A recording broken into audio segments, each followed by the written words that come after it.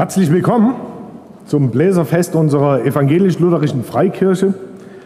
In den letzten Tagen haben unter der musikalischen Leitung von Herrn Ursion aus unserer Würzburger Schwestergemeinde Bläser aus verschiedenen Gemeindechören unserer Kirche intensiv geübt und Sie können sich auf mehr freuen von dem, was Sie eben gehört haben. Sonst stehen Bläserfeste unter einem bestimmten Thema. In diesem Jahr ist es anders. Zu lange waren die erzwungenen Pausen, die nicht nur die Bläser, sondern auch die Sängerchöre in unseren Gemeinden und nicht nur in unseren Gemeinden hinnehmen mussten. Zu groß war die Ungewissheit, unter welchen Bedingungen können wir uns heute hier versammeln.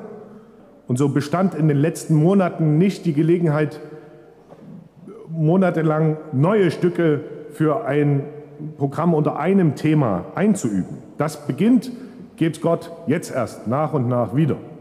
Also lassen wir uns beschenken von den Bläsern, nämlich mit einem bunten Blumenstrauß, einem bunten Blumenstrauß aus beliebten und schönen Stücken der letzten Bläserfeste aus den letzten Jahren, aus verschiedenen Musikepochen. Manchmal wird auch unser gemeinsamer Gesang mit eingebunden unter der Begleitung dann der Orgel. Wenn man einen roten Faden finden will, der diesen Samstag, der dieses Bläserfest durchzieht, dann der Dankeschön. Dankbarkeit. Danke, lieber Gott, dass wir nach langer Pause endlich wieder zusammen sein können. Sowohl beim Gemeindetag als auch jetzt bei diesem Bläserfest. Dass Gott uns Gemeinschaft unter seinem Wort schenkt und wir ihm mit Musik antworten können im nächsten Lied, zu dem Sie alle eingeladen sind, mitzusingen. Sie finden es in den ausgelegten Handzetteln. Da singen wir ein Morgenlied. Es ist schon leicht fortgeschrittener Morgen, aber die Sonne scheint noch. Die güldene Sonne, da singen wir ja, lasset uns singen, dem Schöpfer bringen Güter und Gaben, was wir nur haben, alles sei Herr dir zum Opfer gesetzt. Die besten Güter sind unsere Gemüter. Dankbare Lieder sind Weihrauch und Witter, an welchen er sich am meisten ergötzt. Also Gott freut sich, wenn wir aus dankbarem Herzen zuhören, mitsingen und so wünsche ich uns allen ein gesegnetes, ein frohes Bläserfest. Wir hören und singen das nächste Lied.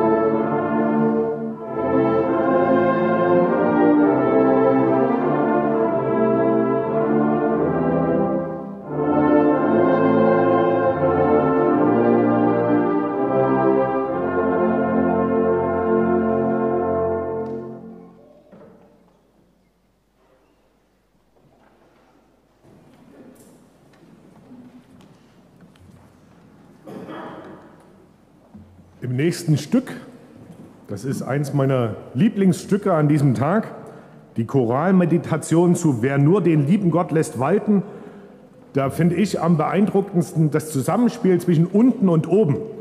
Nämlich unten Alt, Tenor, Bass. Werden Sie hören, die sind unruhig. Da wogt es hin und her, da sind viele Achteln, da geht es immer auf und ab. Und das erinnert an das, was wir jeden Tag, egal wie alt wir sind, ähm, erleben. Wir haben Sorgen, wir werden hin und her bewegt von Ängsten, von Sachen, die wir zu erledigen haben, von Freuden, von Wünschen. Was steht heute an? Das spielen die Unterstimmen. Und oben drüber, da spielt ganz langsam, wir singen das dann schneller, wenn wir dann mit einstimmen, aber in der Choralmeditation ganz langsam, ganz getragen, ganz bewusst, ganz ruhig der Sopran drüber und sagt, wer nur den lieben Gott lässt walten, mach dir keine Sorgen. Lass dich nicht verrückt machen. Wer nur den lieben Gott lässt walten und hofft auf ihn alle Zeit, den wird er wunderbar erhalten in aller Not und Traurigkeit. Wer Gott dem Allerhöchsten traut, der hat auf keinen Sand gebaut. Anders gesagt, lass dich nicht verrückt machen, sondern lass Gott mal machen. Lass Gott walten. Hab Vertrauen. Er kennt die richtige Zeit, er kennt die richtigen Wege, die er dich und deine Lieben führt, damit du am Ende dann in der ewigen Seligkeit an deinem Ziel ankommst. Und so hat Gott schon Generationen von Gläubigen geführt. Das sieht man an Mose. Wenn Sie im Programm schauen, eins der nächsten Stücke wird dann sein Go Down Moses. Ist Englisch, ich habe extra die Übersetzung noch mit reingemacht. Also geh runter nach Ägypten, geh hin nach Ägypten und sag dem Pharao, lass mein Volk ziehen. Die bekannte biblische Geschichte. Ein einzelner Mann mit seinem Bruder soll zu dem großen, zu einem der mächtigsten Herrscher in der ganzen Weltgeschichte gehen. Und Mose war der Meinung, das kann eigentlich nur schiefgehen. Ich lese Ihnen mal vor, was Mose zu Gott gesagt hat, nachdem er zu ihm gesagt hat, Go down, Moses. 2. Mose 3, Vers 11. Mose sprach zu Gott, wer bin ich, dass ich zum Pharao gehe und führe die Israeliten aus Ägypten? Das schaffe ich nicht. Mose fielen viele Gründe ein, warum das so, wie Gott sich das gedacht hat, niemals funktionieren kann. Und das kennen wir doch auch, dass wir sagen, warum hast du das zugelassen? Wie soll aus dem, was mir gerade bevorsteht, was mir gerade passiert ist, wie es gerade in dieser Welt läuft, wie soll das zu einem guten Ende führen? Wie geht es weiter? Was bringt die Zukunft? Das schaffe ich niemals. Und Gott antwortet darauf, damals wie heute, das kommt dann im nächsten Vers, Gott sprach, ich will mit dir sein. Das ist der Grund für diese herrliche erste Stimme, für diesen Sopran, ganz ruhig, ganz gelassen, die ein Christ durch all die Hochs und Tiefs dieses Lebens trägt. Mose sollte nicht auf seine Kraft vertrauen, das schaffst du schon, Mose. Nein, vertraue auf Gott, auf seine Kraft. Lass Gott walten. Das hat unser himmlischer Vater nicht nur dem Mose zugesagt, sondern genauso zum Beispiel seinem Nachfolger, dem Josua, der auch die Hände über den Kopf zusammengeschlagen hat und hat gesagt, also sowas gab es ja noch nie, das schaffe ich niemals. Was sagt Gott zu ihm? Josua 1, Vers 9 siehe, ich habe dir geboten, dass du getrost und unverzagt seist. Lass dir nicht grauen und entsetze dich nicht, denn der Herr dein Gott ist mit dir in allem, was du tun wirst.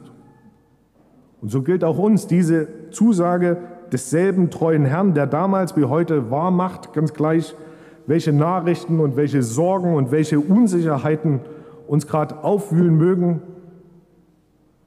Ich bin bei euch, alle Tage. Derselbe treue und allmächtige Gott.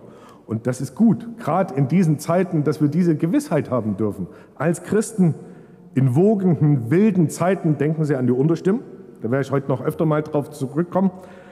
So können wir mit einem Psalmwort sagen, was betrübst du dich, meine Seele, und bist so unruhig in mir? Also Da denken wir an die Unterstimmen. Ja? Achteln und ach und das und das und das. Harre auf Gott. Lass den lieben Gott walten. Denn ich werde ihm noch danken, dass er meines Angesichts Hilfe und mein Gott ist. Gott sei Dank.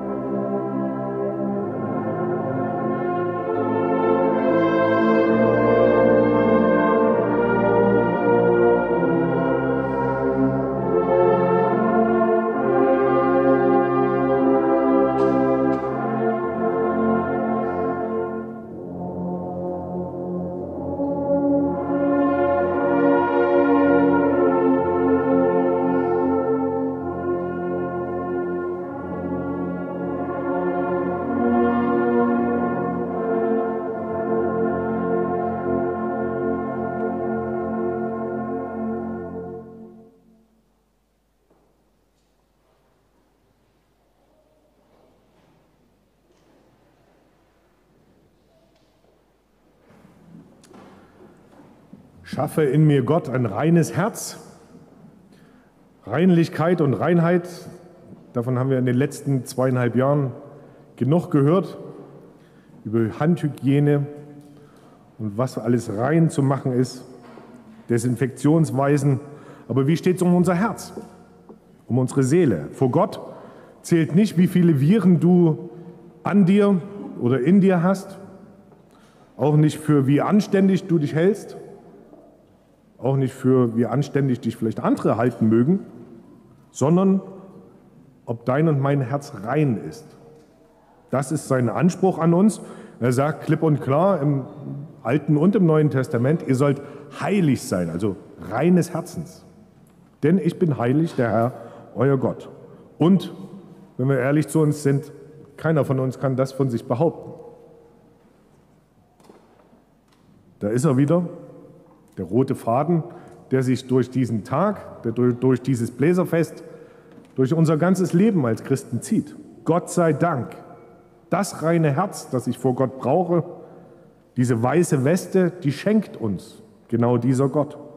Jesus Christus, der alle Sünde abgewaschen hat, von dem es heißt, das Blut Christi macht uns rein von aller Sünde. Aus Liebe zu dir, aus Liebe zu mir, hat er sein Blut am Kreuz vergossen und durch seine Auferstehung ist es ein für allemal als gültige Bezahlung für alles, was uns vor Gott unrein machen würde, angenommen. Und somit hat er uns diesen tiefen, ewigen Frieden mit dem Vater im Himmel, mit unserem himmlischen Vater geschenkt. Und deswegen ist Christus unser größter Schatz. So wie wir es dann singen werden, meinen Jesus lasse ich nicht. Das ist das Wichtigste, dass ich in Verbindung mit Christus bleibe. Nun ist wieder ein Problem. Wir können uns zehnmal den Satz sagen, meinen Jesus lass ich nicht. Herr Christus, ich will dir treu bleiben. Wenn es auf unsere Kraft, unsere Entscheidung für Jesus Christus drauf ankommen würde, dann wären wir längst schon verloren. Wie schnell wird aus diesem Vorsatz ein Satz mit X? Das war mal nix. Wie schnell werden wir untreu und haben unseren Herrn Christus vergessen?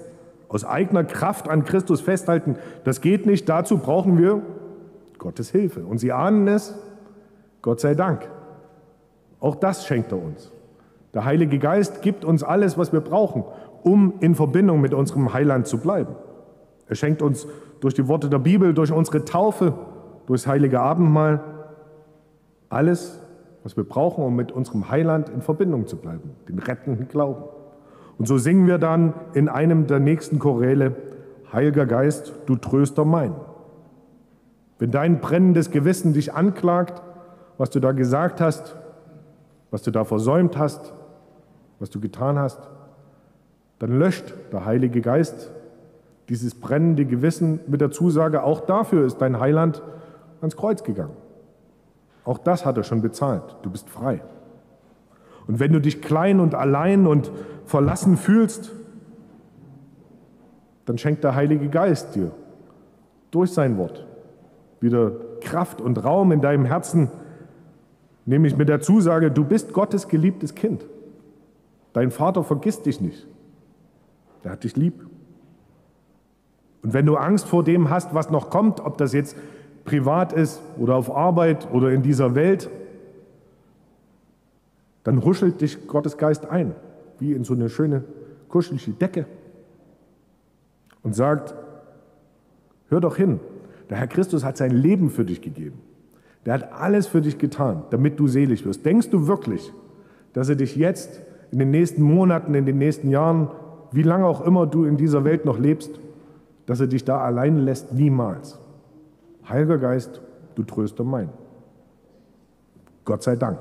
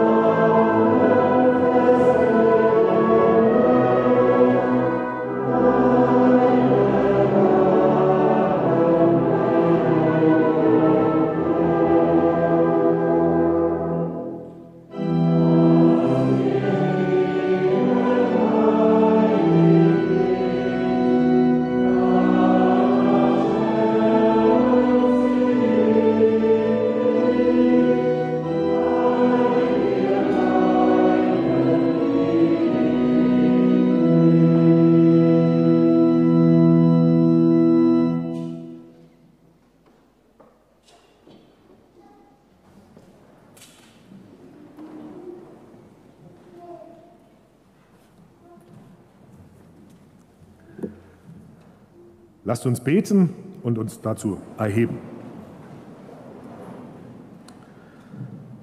Dreieiniger Gott, Dankeschön. Danke für diesen Tag, für dieses Bläserfest. Danke für das Geschenk der Musik, das wir heute gemeinsam genießen dürfen. Bitte, wir bitten dich um deine Führung, um Glaubenszuversicht und Schutz für unseren Lebensweg, aber auch jetzt, wenn wir uns nachher auf den Heimweg machen. Bitte, wir bitten dich für die, die den Trost aus deinem heiligen Wort noch nicht kennen, aber so dringend brauchen, dass auch ihre Seelen den Frieden finden, der höher ist als alle Vernunft und den nur du schenken kannst. Vater, Erlöser und Tröster, bitte lass uns einmal gemeinsam in der himmlischen Heimat zusammen mit allen Engeln und Erlösten die schönsten Lieder zu deiner Ehre anstimmen. Amen. Vater unser im Himmel, geheiligt werde dein Name, dein Reich komme, dein Wille geschehe, wie im Himmel, so auf Erden. Unser tägliches Brot gib uns heute und vergib uns unsere Schuld, wie auch wir vergeben unseren Schuldigern. Und führe uns nicht in Versuchung, sondern erlöse uns von dem Bösen. Denn dein ist das Reich und die Kraft und die Herrlichkeit in Ewigkeit. Amen. Es segne und behüte uns Gott, der Allmächtige und Barmherzige der Vater, der Sohn und der Heilige Geist. Amen. Wir setzen uns und fragen uns, ja, wann sehen wir uns denn wieder? Dieser Tag geht zu Ende.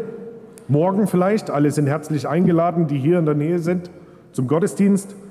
Hoffentlich spätestens beim nächsten Sängerfest, beim nächsten Bläserfest. Aber natürlich sagen wir auch, ja, wer weiß schon, was noch alles kommt. Wer weiß, ob wir uns dann noch das Benzin leisten können, hierher zu kommen. Oder wer weiß, wie der Herbst wird, der Winter kommt. Da kann ich nur empfehlen, denken Sie nochmal an die wogenden, nicht nur Unterstimmen, ich habe vorhin Käse erzählt, das war nicht nur der Sopran, der oben die schöne, äh, trostreiche, wer nur den Leben Gott lässt walten hat, sondern denken Sie an diese Unruhe, lass Gott machen.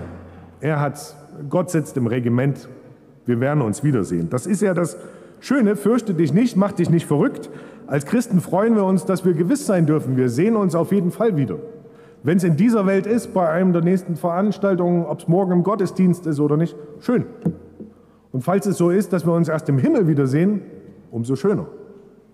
Aber dass wir uns wiedersehen, sehr gut. Dieses getroste aufs Ziel ausgerichtet sein, das atmen auch die nächsten beiden Stücke, der Bläser.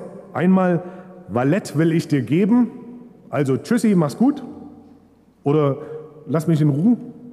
Du, diese Welt, an dir hänge ich nicht, sondern ich freue mich auf das, was kommt. Da liegt noch was vor mir. Und dann auch Funky Town, das nächste Stück, das spiegelt so ein bisschen die Vorfreude aufs himmlische Jerusalem wieder, wo wahrscheinlich nicht nur meine Fußspitzen mitwippen werden, in Vorfreude auf das, was wir dann gemeinsam erben dürfen, völlig unverdient, aus reiner Liebe unseres Heilands, aber real und geb's Gott, dass wir jetzt schon mit diesen Bläserstücken uns drauf freuen. Funky Town, Gott sei Dank, dass wir dieses Lebensziel haben dürfen.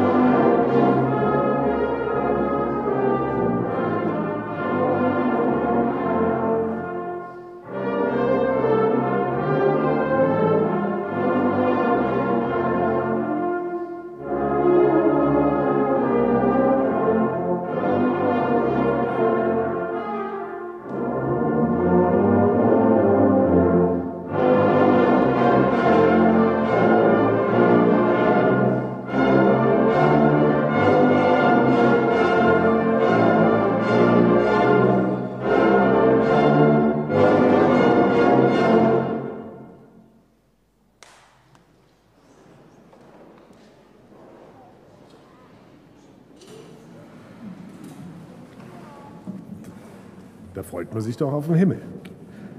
Und deswegen, Gott sei Dank, Gott sei Dank am Schluss für diesen Festtag. Urs sei Dank, Urs John, der die musikalische Leitung übernommen hat und ich denke, man hat es gesehen, mit Leib und Seele dabei ist und dabei war. Auch vielen Dank an Pfarrer Michael Müller. Das ist kein Eigenlob, auch wenn im Programm vom Gemeindetag stand, dass ich das wäre. Ähm, Pfarrer Michael Müller hat die äh, geistliche Leitung gehabt hier bei der Bläserrüste, hat deswegen zusammen mit Urs diese Rüste geleitet. Vielen Dank dafür. Danke an die Bläser für den bunten Blumenstrauß aus Stücken, die ihr uns wieder in Erinnerung gerufen habt. Danke an Herrn Martin Schönfelder an der Orgel, der uns begleitet hat beim Gemeindegesang. Danke an die Planitzer St. Johannes Gemeinde dafür, dass wir hier zu Gast sein durften. Und ich glaube, ans Dankeschön will sich gleich noch Pastor Hein anschließen. Wir ja, wenn wir einmal beim Danken sind, wollen wir auch noch am Ende vom Gemeindetag, was jetzt zeitgleich auch das Ende vom Bläserfest ist, Danke sagen. Also den Bläsern insgesamt, um das Missverständnis aufzuklären. Der Mann, der hier vorne stand, der heißt nicht Michael Müller, der heißt Pfarrer Albrecht Hoffmann. Das ist der neue Vorsitzende beim Amt für Kirchenmusik und der scheidende Vorsitzende Michael Müller, der wollte lieber mitblasen. Verständlich. Das hat Spaß gemacht, auch als Zuhörer. Ja, an der Stelle sei noch herzlich gedankt allen, die auch beim Gemeindetag mitgewirkt haben, bei der Versorgung, der leiblichen, aber auch der geistlichen Versorgung, die etwas ähm, mit beigetragen haben, mitgebracht haben. Es gibt vom Essen noch einige Reste. Wer jetzt einen weiteren Heimweg hat oder vom Blasen so ermattet ist, dass er gleich umfällt vor Hunger, es gibt vom Kaffeetrinken, vom Mittagessen noch ein paar Reste, das kann jetzt unten noch alles aufgegessen werden. Da keine falsche Scheu wer noch ein Loch im Bauch verspürt. Wir haben es auch großteils schon bezahlt, da können wir es erst recht alle machen. Wer aber von seinem Beitrag noch was einwerfen will, wie schon angedeutet vorher, bitte jetzt nur noch unten im Gemeinderaum Beitrag für den Gemeindetag einwerfen. Jetzt hier wird eine Kollekte gesammelt, die ist für die Bläserarbeit oder überhaupt die gesamtkirchenmusikalische Arbeit unserer Kirche. Wolltest du das noch sagen? Sonst habe ich es jetzt schon gesagt. Ja, herzlichen Dank nochmal an die Planer zur Gemeinde, dass wir auch mit dem Gemeindetag hier zu Gast sein konnten. Und jetzt kommt noch ein letztes Stück, das sagst du selber an. Ich sage noch was anderes, nämlich wenn Sie jetzt sagen, also Bläsermusik, ich habe jetzt so eine Lust auf Musik, jetzt würde ich gerne wieder was von Sängern hören. Dann sind Sie herzlich eingeladen. Zum Beispiel im September, am 4. September, das ist ein Sonntag, 17 Uhr nach Krimitschau, ist nicht weit von hier. Da singt das Chorprojekt unserer Kirche geistliche Vokalmusik. Ähm, zum letzten Mal in Sachsen. Wir haben schon ein, zwei Auftritte hier gehabt. Die nächsten Male müssten Sie dann weiter nördlich mitreisen. Also 17 Uhr, 4.9. Sonntag, geistliche Vokalmusik vom Chorprojekt unserer Kirche. Oder auch im Oktober dann, hier in Planitz wieder, wird die Kindersingewoche zu Gast sein, die auch ein Programm einüben und, wenn ich das richtig verstanden habe, dann am 30.10. an dem Sonntag im Abschlussgottesdienst hier oder auch am Donnerstag vorher in der Bibelstunde dann wie immer ein Programm aufführen. Also sind Sie herzlich eingeladen. Ihnen sei Dank, dass Sie da waren. Wie gesagt, Pastor Hein hat es schon gesagt, die Kollekte für heute ist bestimmt für die Unkosten dieses Bläserfestes, für Fahrtkosten, für Noten, aber auch allgemein für die Bläserarbeit unserer evangelisch-lutherischen Freikirche. Zum Abschluss hören wir noch das Stück Brass Cathedral Messingkathedrale, heißt das übersetzt auf Deutsch, oder Blechkathedrale. Ich wünsche uns allen einen behüteten Heimweg, morgen gesegnete Gottesdienste, wenn Sie dabei sein können. Schön, dass Sie da waren und Gott schenke uns allen ein frohes, ein gesegnetes Wiedersehen. Amen.